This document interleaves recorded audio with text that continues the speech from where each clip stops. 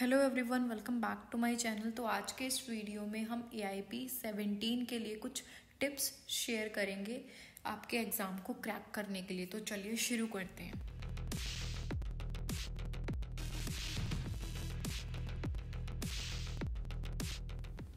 तो देखिए, सबसे पहले तो मैं आप लोगों से एक चीज़ शेयर करना चाहती हूँ, क्योंकि बहुत सारे कैंडिडेट्स के कमेंट्स आ रहे थे कि जो हमारा ए आई बी सेवेंटीन के फॉर्म्स हैं, वो स्टार्ट हो गई हैं कि नहीं हुए हैं। तो देखिए, फ़िलहाल ए आई बी की तरफ़ से कोई भी नोटिफिकेशन नहीं आया है बट हाँ जल्दी आपका जो नोटिफिकेशन है, वो आ जाएगा एंड वीडियो भी आप तक पहुँच जाएगी। तो अब हम जानते हैं given below are some tips applicants can use to track crack A I B exam तो सबसे पहली एंड इम्पोर्टेंट चीज़ जो आप लोगों को फॉलो करनी होगी वो ये है well versed with the A I B syllabus and exam pattern सबसे पहले तो आप लोगों को ए आई बी का सिलेबस पता होना चाहिए एग्ज़ाम पैटर्न पता होना चाहिए। सब कि क्या कुछ है आपके एग्ज़ाम में, आपके सिलेबस में, कितना कुछ सब्जेक्ट्स हैं कितने कितने मार्क्स के सब्जेक्ट्स हैं जैसे CPC हो गया तो आप लोगों को ये पता होना चाहिए कि CPC जो है वो आप लोगों का नाइन का है या फिर टेन का है। जब आप लोगों को इतना ही नहीं पता होगा तो आपकी जो प्रिपरेशन है वो हो ही नहीं पाएगी। जैसा कि यहाँ पर मेंशन कर रखा है is it it is important to know how to prepare for A I B exam what start with understanding analysing the topics to be covered तो सबसे पहले आप लोगों को अपना जो सिलेबस है, उसका प्रिंट आउट निकलवाना पड़ेगा। प्रिंट आउट के हिसाब से, जो सिलेबस है, उसी के हिसाब से आपको अपनी प्रिपरेशन स्टार्ट करनी पड़ेगी। कि पहले कौन सा सब्जेक्ट ज़्यादा मार्क्स का है, कौन सा कम मार्क्स का है। तो उसी तरीके से आप लोगों को अपने प्रिपरेशन स्टार्ट करनी है। एंड अकॉर्डिंग टू मी सबसे पहले आप लोगों को जो ज़्यादा मार्क्स स्कोर करते हैं, उन सब्जेक्ट्स को उठाना चाहिए। ये चीज़ मैंने बहुत बार बताई आप लोगों को। एंड सेकेंड चीज़ यहाँ पर इन्होंने मैंशन कर रखी है understanding one strength and weakness सबसे पहले आप लोगों को अपना सिलेबस पता होना चाहिए पैटर्न पता होना चाहिए। एंड सेकेंड चीज़ आप लोगों को अपनी स्ट्रेंथ एंड वीक पता होनी चाहिए कि कौन सा सब्जेक्ट आपका वीक एंड कौन सा सब्जेक्ट आपका स्ट्रॉन्ग है। जब आप प्रैक्टिस करते हो, जब आप अपना क्विज़ दोगे या फिर कोई भी एम क्यू सॉल्व करोगे, प्रीवियस ईयर के क्वेश्चन पेपर सॉल्व करोगे, उससे आप लोगों को पता चल जाएगा कि किस पोर्शन में, किस सेक्शन में आप लोगों को प्रॉब्लम हो रही है। ठीक है?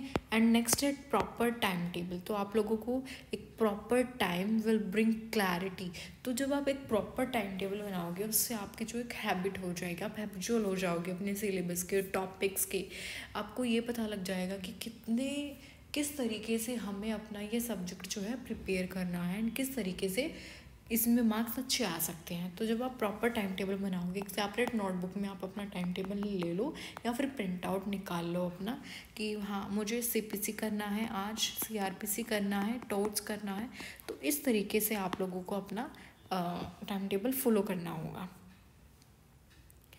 सबसे पहले देखिए यहाँ पर इन्होंने यही मेंशन कर रखा है difficult topics would need more attention जो भी डिफ़िकल्ट टॉपिक्स हैं यानी कि जो भी डिफ़िकल्ट सब्जेक्ट्स लगते हैं आप लोगों को तो उनको पहले कीजिए एंड जो ईजियर हैं उनको आप बाद में कीजिए। एंड uh, जो आप लोगों का जो सिलेबस है उस सिलेबस के बारे में आप लोगों को नॉलेज होनी चाहिए कि किस तरीके से आपका एग्ज़ाम पैटर्न होता है हंड्रेड मार्क्स का आपका एग्ज़ाम होता है, जिसमें से एक एक नंबर का हर क्वेश्चन होता है। ठीक है? जब, और नेगेटिव मार्किंग भी नहीं होती है, ये अच्छी बात है इस एग्ज़ाम की, और फोर्टी परसेंट आप लोगों को इस एग्ज़ाम में स्कोर करने होते हैं। ठीक है? And focus topics that have more weightage ये चीज़ हमने बहुत बार डिस्कस की है कि सबसे पहले आप लोगों को जो ज़्यादा वेटेज के क्वेश्चंस हैं, उन पर फोकस करना है, क्योंकि वही आपके मार्क्स जो है, वो अच्छे दिला सकते हैं। अगर कोई सब्जेक्ट है जो दो मार्क्स स्कोर करता है, और अगर आपने वो पहले कर लिया और टेन मार्क्स वाला आपने लीव कर दिया कि मैं बाद में करूँगा तो टू मार्क्स से क्या होगा? मार्क्स जो आपके डिपेंड करेंगे वो टेन मार्क्स हैं, ठीक है? तो आप लोगों को पहले ज़्यादा वेटेज वाले सब्जेक्ट्स उठाने हैं, बाद में आप लोगों को कम वेटेज वाले उठानी है। इससे आपकी प्रिपरेशन काफ़ी अच्छी हो जाएगी। And solving mock test and sample papers आप लोगों को ये हैबिट डालनी होगी। एक नेट से बहुत सारे एम मिल जाते हैं, हर सब्जेक्ट के mock test sample papers previous year question paper जो कि हम कराते हैं, अभी कराएँगे, कुछ दिनों में आपकी जो प्रिपरेशन है वो अच्छे तरीके से हो जाएगी। तो उससे आप लोगों को अपनी स्पीड पता लगेगी किस तरीके से कितने टाइम में आप अपना एग्ज़ाम कंप्लीट कर रहे हो, कितने क्वेश्चंस आप इतने मिनट में सॉल्व कर पा रहे हो तो उससे आपकी हैबिट बन जाएगी एंड जो स्पीड है वो भी इंक्रीज़ हो जाएगी। तो आप प्लीज़ जो है मॉक टेस्ट सैंपल पेपर्स या फिर सेपरेट सेपरेट एम सॉल्व करो हर सब्जेक्ट्स की। Revision. Provided the lengthy syllabus of AIB multiple revision are the key to clearing AIB 2022 तो आप लोगों को क्या करना है? जितना भी सबसे पहले तो आप एक अपनी सेपरेट नोटबुक बना लीजिए, वहाँ पर प्रॉपर अपना टाइम टेबल बनाइए एंड जितने भी जजमेंट्स हैं केस लॉज हैं, उन लोगों को, उनको आप प्लीज़ फॉलो कर लिए, कर लीजिए कि किस तरीके से आपके जो क्वेश्चंस की फॉर्म में से ना, पहले आप क्या करें? एग्ज़ाम्पल पेपर उठा लीजिए कोई भी ए का उसमें देखिए कि कितने क्वेश्चंस जो हैं वो आपके केस लॉज एंड जजमेंट से आए हैं तो उससे आपको आइडिया हो जाएगा कि हाँ जजमेंट्स एंड केस लॉज भी आपके एग्ज़ाम में पूछे जाते हैं।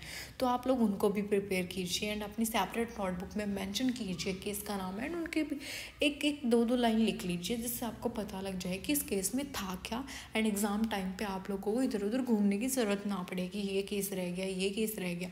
जैसे कॉन्स्टिट्यूशन लॉ का है सी पी सी वगैरह के हैं C R P C family लो तो इनके आप सेपरेट सेपरेट लिख लीजिए एंड वीडियोस भी आप लोगों को हमारे चैनल पर मिल जाएँगे, जो पहले आई वी सिक्सटीन की प्रिपरेशन करवाई थी।